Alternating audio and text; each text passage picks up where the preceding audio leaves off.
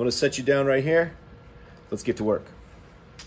Okay, so we're putting a left chest on a t-shirt. Customer wants to know, we want it in the standard location. Super easy. We're gonna put it on the left side of this shirt, and I'm gonna show you how we're gonna pre-treat this quickly and easily first. So, when pre-treating on a left chest, you can uh, you can certainly use your pre-treat machine. You can use a roller. I have another method I want to show you guys.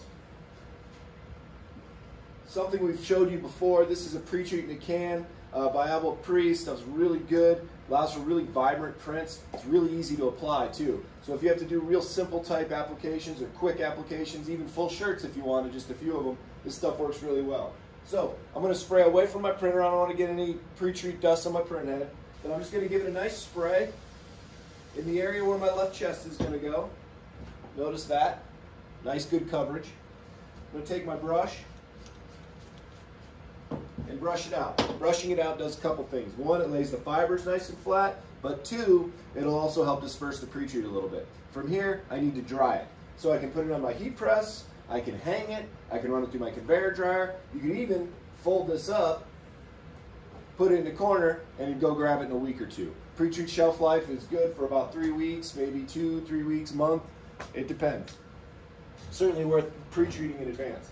So I'm gonna, uh, this shirt's already pre-pre-treated. I'm gonna set it on this Tuck-Lock platen here. Uh, it's an aftermarket platen Tuck-Lock. I'm sure you're familiar with them. They're really good. They have a lot of good applications. But in this case, we're gonna print on the left chest, right? So I'm gonna set my shirt on. I'm gonna load it like I normally do. So I'm gonna thread it. And when I thread a shirt, the trick is I go all the way forward. That helps me find the center. So I can tell my tag, I can see the center line on my platen and even on my, uh, uh, my tray here. Then I know I pull my shirt back straight and then I check the seams of each side of the sleeve to make sure it's, it's uh, they're level or they're equal on either side. I put my collar right off the edge. And then on the Tuck-Lock, all I have to do is tuck it in. So I tuck it in, it holds it tight. Tuck-Locks work really great for that. Aftermarket platen, but really high quality stuff. So now, here's the trick, folks. We know we're gonna print on the left side of this shirt, right? But in Garment Creator, I gotta show you where the placement is. So, notice in Garment Creator that this is our grid. This is our 14 by 16 grid. This is my left chest. This design is 3.3 inches wide. I'm bringing it about an inch down and all the way over to the right. Now remember, it's on the right here, but it's gonna be on the left here.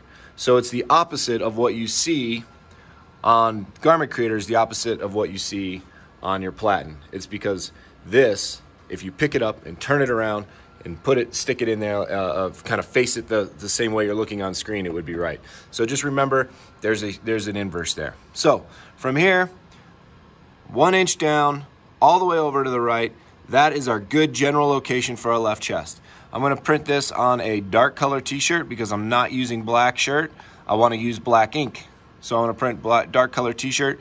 Typically, uh, the setting that I like is level five. Level four or three works really well, but I like level five. It only costs a few cents more. Um, and I'm just gonna print it. Just let it go. It works really quick, works really easy. We don't have to think too much about it. A lot of this is placement, making sure that you get placement right. So I'm gonna go ahead and hit my start button and let that thing rip. While that's doing that, let's talk about shirts. So we're printing, this is a Hanes Nano tee. This was a Hanes Nano tee that I pre-treated here. It's important to use a good quality shirt. This is something that I stress a lot, as you guys know. Uh, we like Cotton Heritage, we like Spectra, we like Hanes Nano, uh, we like um, Bella Canvas. Um, next level is really good. There's a lot of really good blanks out there. There's a lot of not so good blanks out there. So make sure you get ones that you know are going to print well so you can just make sure you have good consistent prints every single time. So we finished our white. It's gonna Now it's going to print the color. This only cost me a few cents to do. So while that's running, I'll just do a quick job estimator. If you don't have the job estimator tool set up, watch one of my previous videos on Garment Creator. Teaches you how to set up your cost estimator tool. So this one only costs about 30, uh, 30 cents to print. Um, super easy, quick left chest, full color, um, and full customization too. If you needed to put new names down below, somebody's name or something unique below this or around this, it wouldn't be hard to do. So as you can see, we have a perfect left chest, right where we expected it to be. And if you look on the kind of the standard where left chest should be, it should be about down here and then you center here. So if you can see, that's pretty doggone close. If we need to make any small adjustments, we can easily do that just by shifting the design a little bit in Garment Creator. But we're gonna hit that spot pretty much right on uh, every single time if you follow those guides. Go all the way to the right, down one inch, and all the way to the right. That'll put you in a pretty good spot. So thanks for watching this Digital Monday. We have more good stuff coming